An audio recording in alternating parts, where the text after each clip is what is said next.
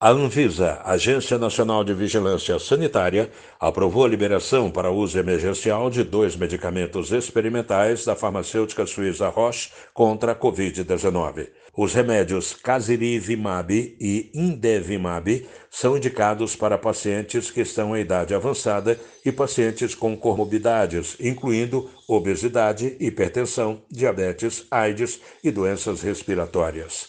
Segundo a Anvisa, Apenas pacientes com sintomas leves da Covid-19 poderão tomar a medicação que ficará disponível apenas nos hospitais, ou seja, não será vendido em farmácias. O coquetel foi liberado para ser administrado em pacientes a partir de 12 anos que pesem mais de 40 quilos, que não necessitem de suplementação de oxigênio e não apresentem o quadro grave da doença.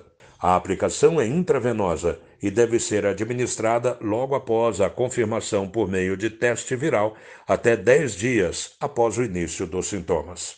Os medicamentos já foram aprovados para uso emergencial nos Estados Unidos e apresentaram bons resultados. Da Rede Nacional de Rádio em Brasília, Luciano Barroso.